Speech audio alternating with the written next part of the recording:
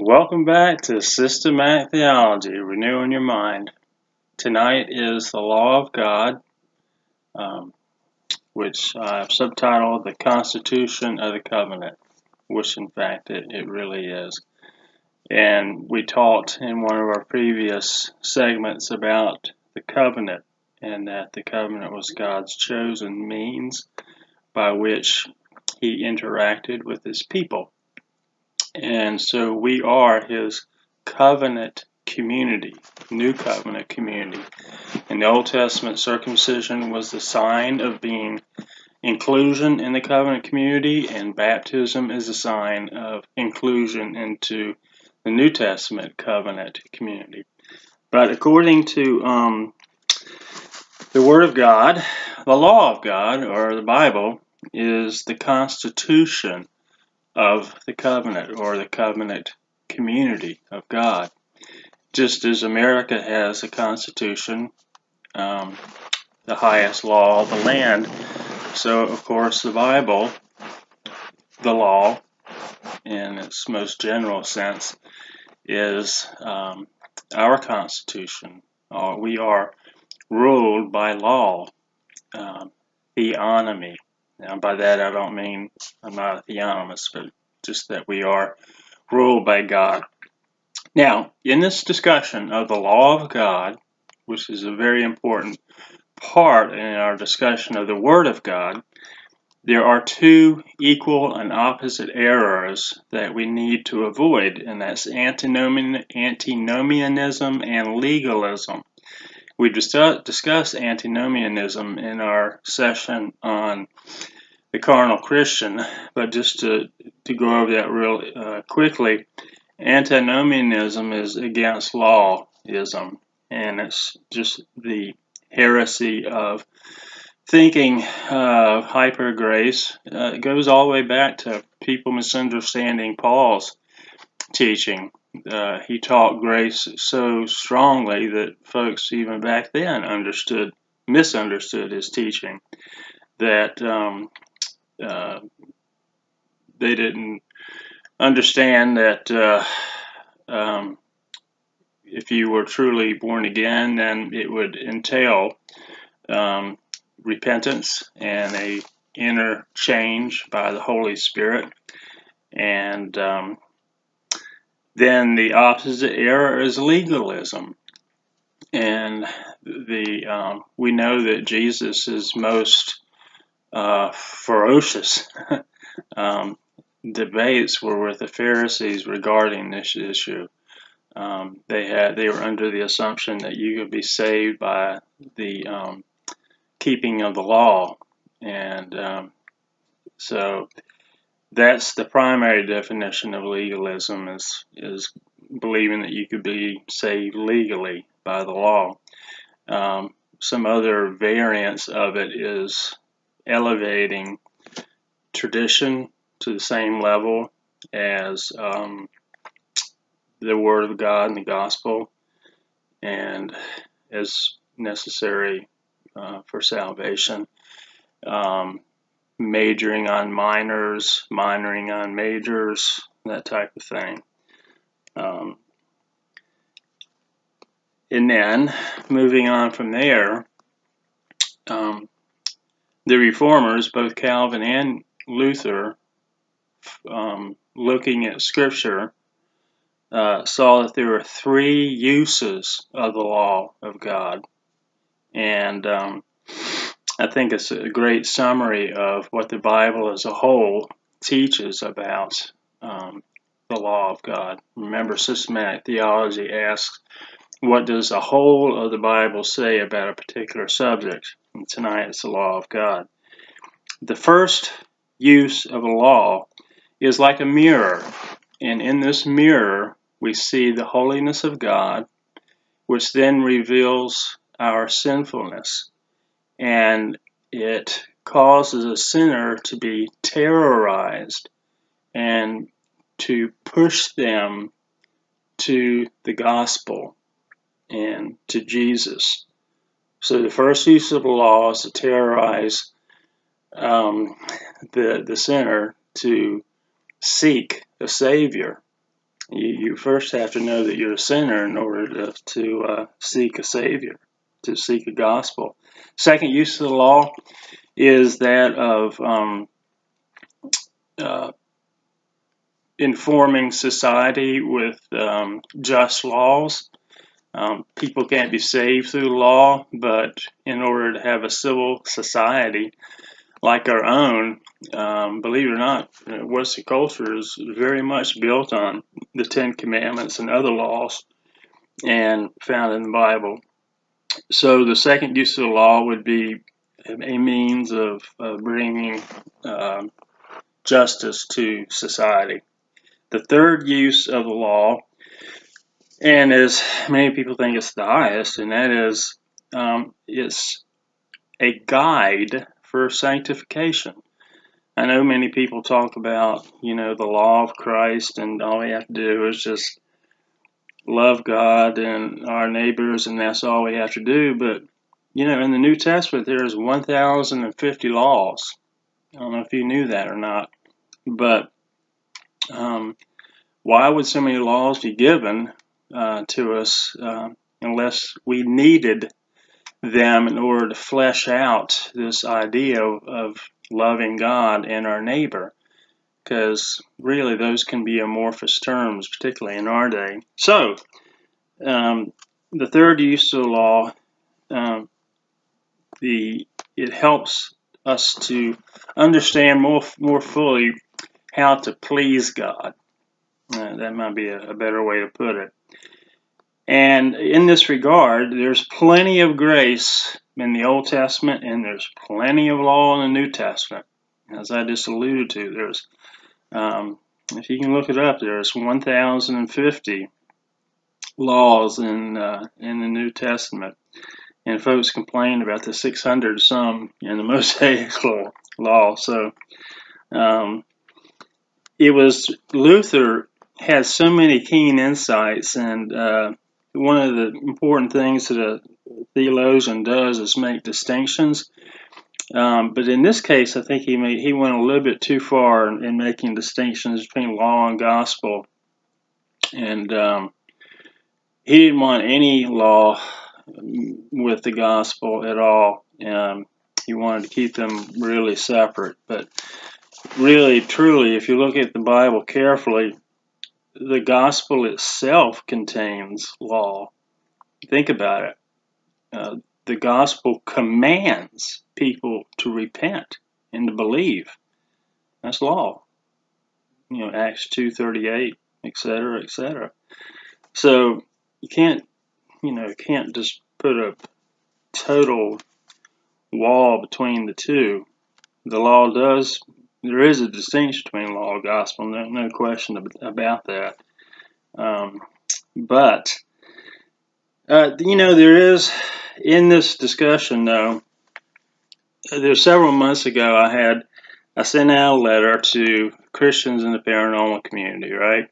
Some of you may know about that. And uh, it was an unprecedented thing, and it challenged people to stop doing what they've been doing, and that's investigating because they were disobeying God's law. And I found out that the main people, main way that people were getting around that challenge were they replied that, well, the Old Testament law doesn't apply to them anymore. Well, yes, it does.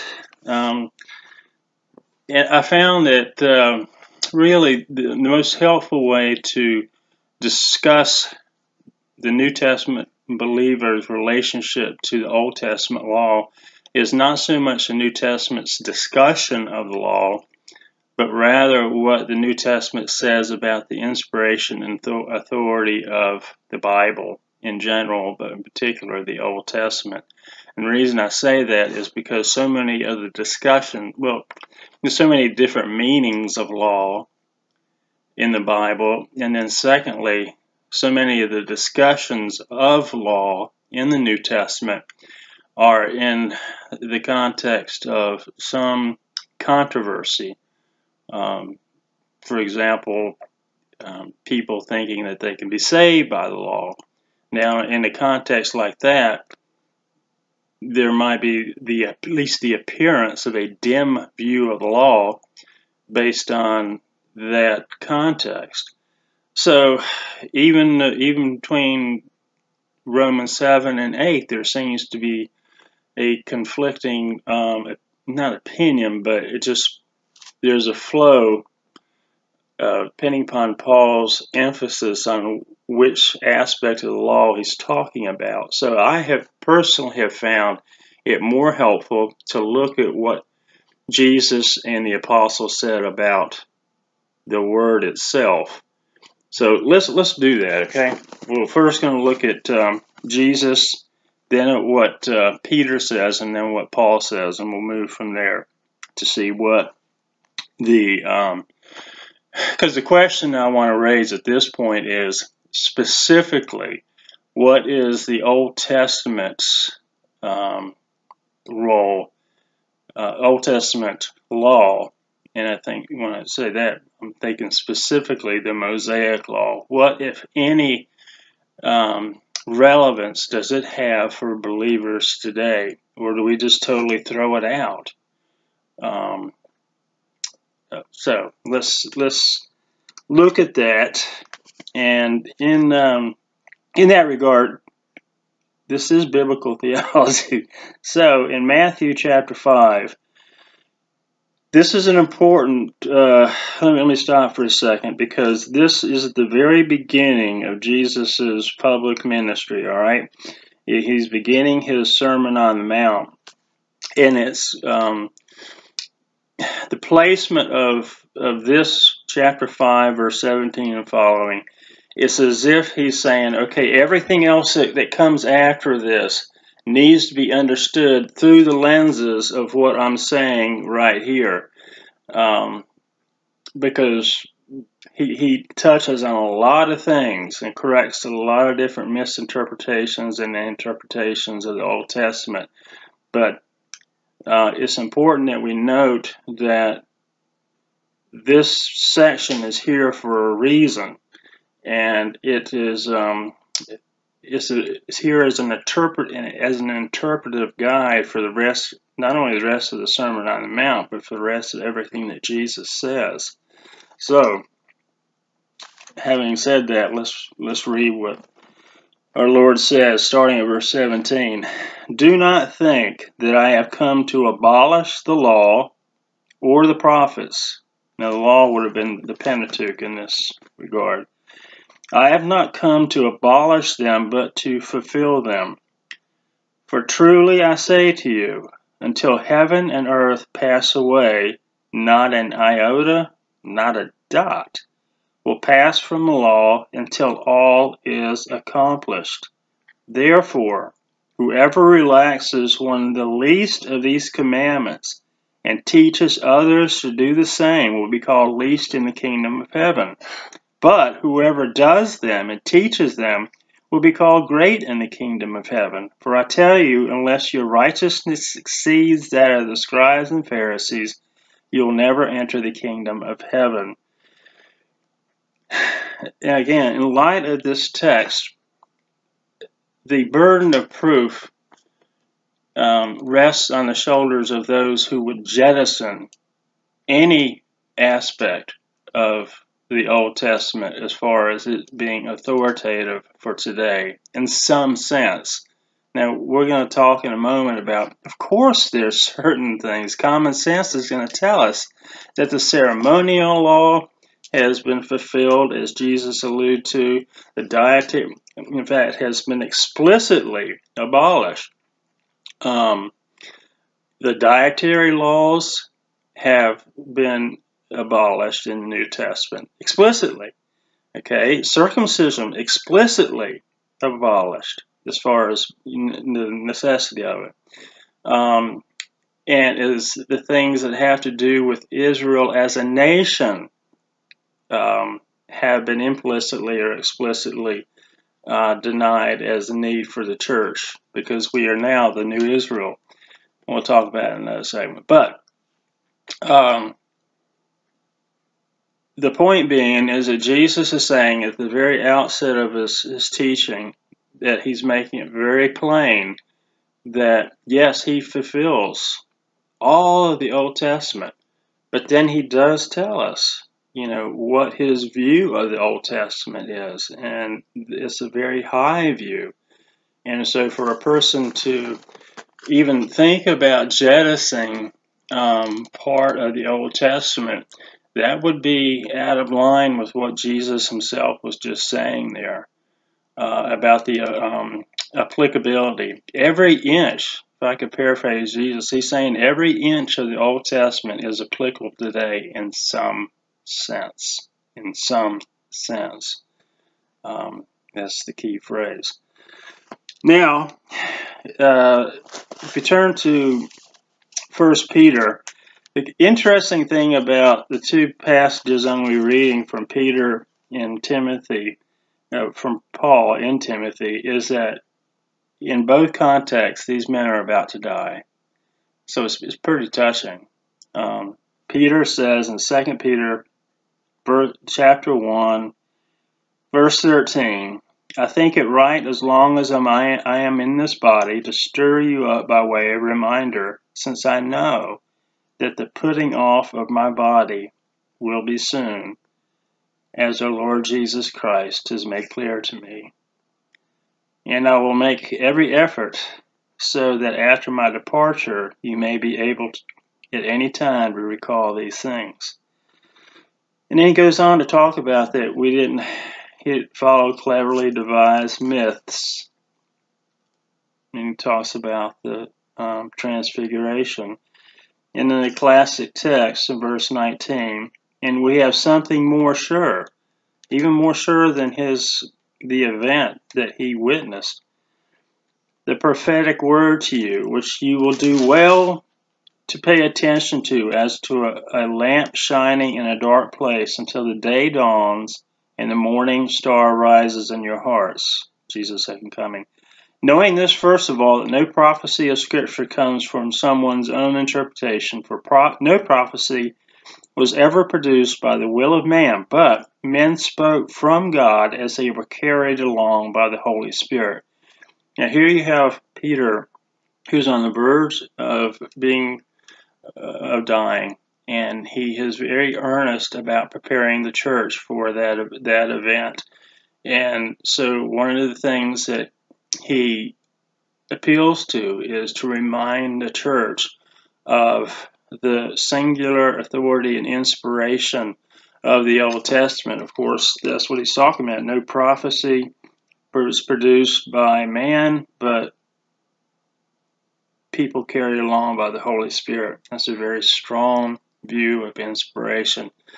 And again, of course, he does refer to Paul later on in his text is, as his writings as being scripture, but at this point in church history, the main scriptures were the Old Testament um, because New Testament was just beginning to be formed.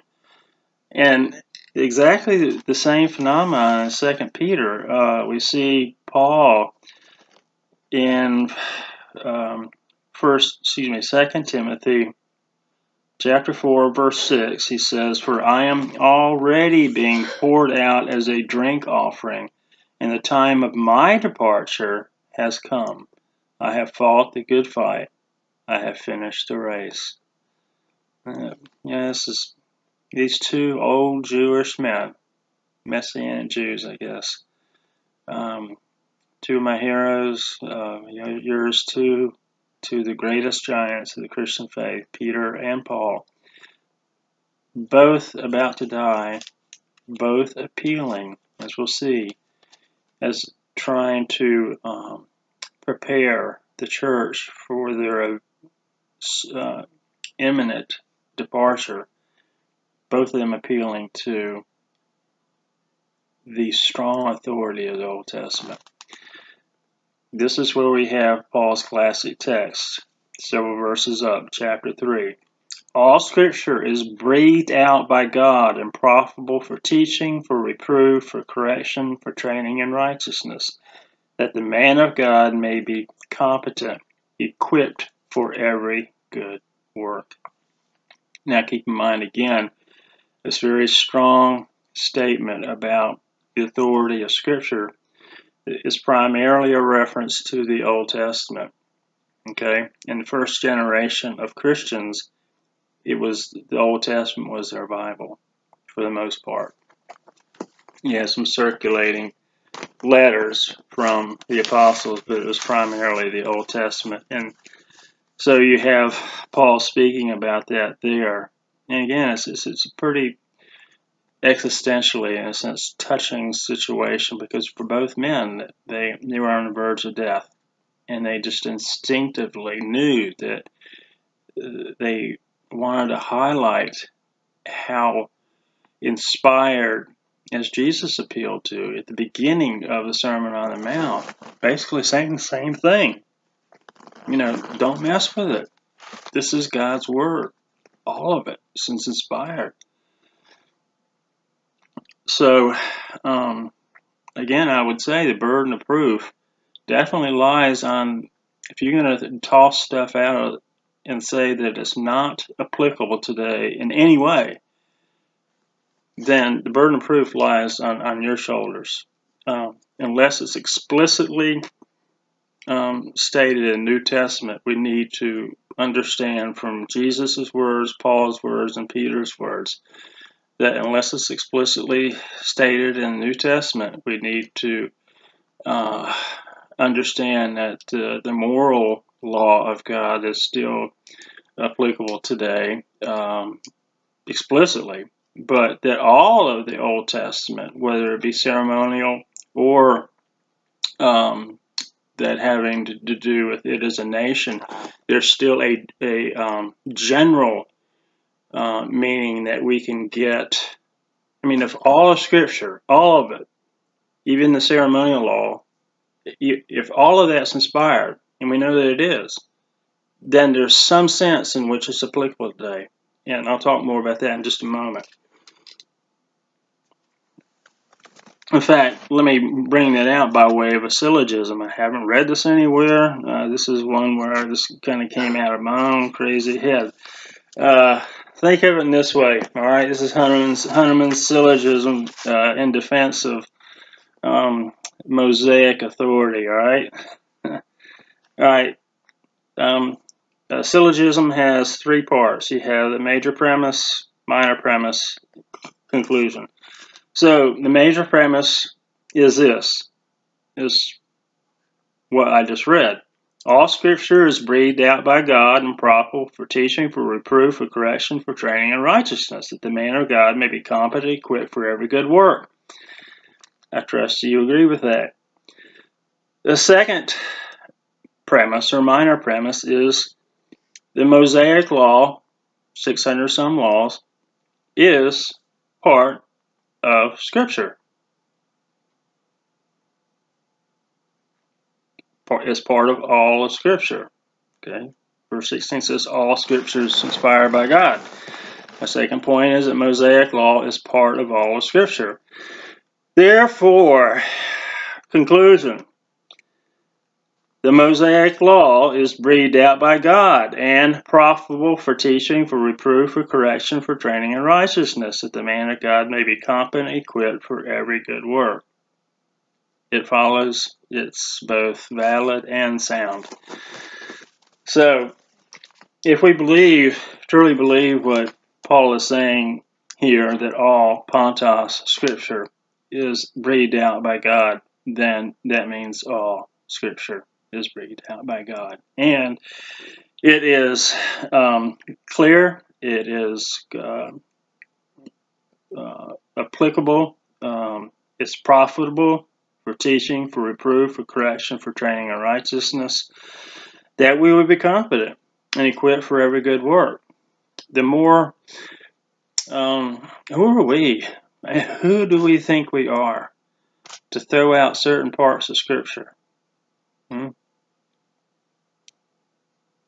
I, I really don't understand it. Um, again, that's how people got out from underneath my challenge to them because it came from Deuteronomy chapter 18. They didn't realize that in that same chapter, there is a prophecy of, um, well, the first part had to do with prohibitions about uh, invalid forms of seeking supernatural knowledge, and the second half of Deuteronomy 18 had to do with valid means of seeking supernatural knowledge through God's prophets. And in that context, you have the prophecy of the Lord Jesus, which is quoted in the New Testament about Jesus as the um, the prophet. Jesus is prophet, priest, and king. The prophet, priest, and king.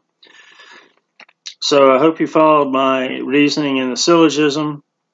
Um, it's just really, it's just common it boils down to common sense. Am I talking about how that we should apply, like the theonomists say, and the more stricter ones that we need to apply all of the law? No, no, absolutely not. That's not what I'm saying. What I'm saying is what Jesus said. Jesus, as you know, after he uttered that point in Matthew 5 17 and following, after that, he made a distinction between the literal meaning of the Ten Commandments and then its wider meaning, like, for example, murder and anger. That was a wider general application of it. Same thing had to do with adultery. Just because somebody didn't commit adultery didn't mean that they um, that they were not guilty of its wider meaning or application, and that was lusting. So that's my point, is that though the literal application of these laws has been done away with, specifically things like dietary laws, um, laws having to do with circumcision, and Israel as specifically as a nation, um, like circumcision, and and then of course the the um, laws having to do with uh, sacrifices. That those literally do do not apply because we've, I mean, they were fulfilled in Jesus, and then we've been they were explicitly um, annulled in the New Testament. We were told the the literal meanings were, but the general meanings um, what was underlying it, there's still things that we can learn from it. Or think of what, th- just think of what happens. If we say there's no, if there's no meaning whatsoever to the teaching about uh, the dietary laws, if there's no application whatsoever when it comes to the ceremonial law, then why read it at all? Why don't we just throw it out? What's the purpose in even reading the first five books of the Bible if there's no application or meaning of it at all? Okay, we all agree that that it's literally um, praise God is has been fulfilled in in the Lord Jesus. But there's a wider question, and this is just common sense. Is it just because it's been fulfilled or done away with the dietary laws? Uh, does does that and the laws having pertaining to Israel as a nation? Does that mean that there is then no application whatsoever that we can learn from it? This is this is inspired word of God. And I've used this before, but one of the laws it talked about was a parapet around the house this has to do with the law of you know Israel as a nation. Um, you know, parapet it was like a railing because during that time people lived on the top of the houses. You know, that's not literally applicable today, but is there is there something when we read that can we apply that today? Sure. What it had the underlying general meaning that we can learn from that is the sanctity of human life as it has to do with um, our households and how we con- it's constructed. So, for example, if you how you could apply that would be if you if you have a pool, make sure you have a, a fence around it. Um, Paul himself, you know, in Deuteronomy 25, right in the middle of discussing levirate marriage, and um, an eye for an eye type application. I mean, we're talking really explicit Old Testament law stuff. Right in the middle, it says, "Don't muzzle an ox," you know, while it's um, eating or doing its threshing thing. Um, it seems like what kind of meaning can get, get out of that? Well, Paul found it, 1 Corinthians 9 9. He finds meaning in that and saying, pay your pastor. See what I'm saying? Is it, yeah, the literal meaning is is done away with. You know, we don't have agricultural situation. We're no longer a nation uh, under, under God in that sense. And, but Paul could see that there was an underlying principle, underlying principle under that inspired word of God. And that's that's all I'm saying is that most of these 600 laws is is are are just principles for living like that. Uh, most of it is just teaching us. Uh, a lot of it's just the same thing. It's just you know uh, how to to just um, common sense type things like um, treating people with dignity. And I mean, you know, the, it was the Old Testament itself that summarized itself by saying um, in Deuteronomy, love the Lord your God with all of your heart, soul, mind, and strength. But um, it went on to give all these other laws because it needed to be fleshed out. And we need to have it fleshed out because just loving God and loving our neighbor, that's an empty statement unless we know specifically what that means and what specifically what specific activities please God or displease Him. Um, that's where the law comes in handy. And um, let's take an area where we know. Okay, it even says in Hebrews that in one sense that the law is obsolete. Yes, it is. Thanks, thank God, praise God, it is. And especially with reference to the sacrificial system. But if you're reading Leviticus chapters 1 through 5, okay, using this as an example, and just to close out our discussion, in Leviticus 1 through 5, you have the discussion of a burnt offering, a grain offering, peace offering, sin offering, and guilt offering. Now, lit- literally, there's no applicability whatsoever. None. And praise God again for that because Christ is the once for all sacrifice. But does that mean that we don't ever read Leviticus 1 through 5? God forbid. It says all scriptures inspired by God. That means Leviticus 1 through 5 as well. So, what do we learn from Leviticus 1 through 5? Well, if you study the various five main sacrifices of the Old Testament, then each one of those will shed light on a various aspect of the multifaceted atonement of Christ. See what I'm saying? For example, the burnt offering that focuses on the notion of propitiation more than any other um, aspect or any other um, offering would. And that's at the heart of the atonement, where God's wrath is poured out. Then you have the peace offering. What's it say in Romans 5.1? Therefore, having been justified by faith, we have peace with God. Um, you have the sin offering. Obviously, Jesus died for our sins. And then the guilt. We have objective guilt before God. We feel guilty because we have objective guilt. But a more in depth study of these, which I don't have time to do, would bring this out. So, all uh, again, try to summarize um, guess I've been rambling a, little bit, but my point is, is just a simple plea for a common sense understanding of the Old Testament law and how every inch of it, because it's inspired, means that in some sense it's still applicable today. If only in teaching us, if only about the cross, enriching our understanding of the cross, or in a sense about the ox, understanding of the pastor.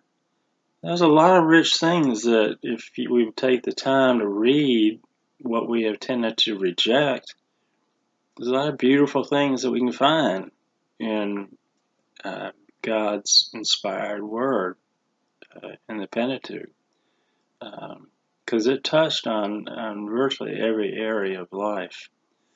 So that's my plea is to let's celebrate the law of God and that is out of gratitude for God's amazing grace that we want to obey God's law. You know, the giving of God's law in Exodus 20 is couched in grace. It says, God said, Because I have brought you out of the bondage of Egypt, hence here are my Ten Commandments.